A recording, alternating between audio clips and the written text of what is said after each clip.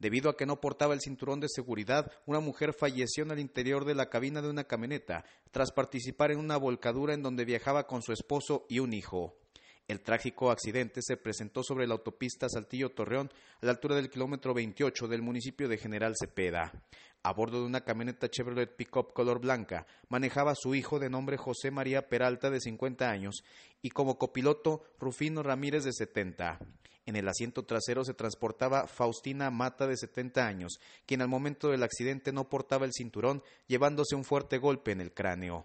De acuerdo a las primeras investigaciones por parte de la Procuraduría de Justicia del Estado, el accidente se debió al exceso de velocidad con la que transitaban, por lo que su chofer salió del camino, impactándose contra un canal pluvial que los hizo volcarse.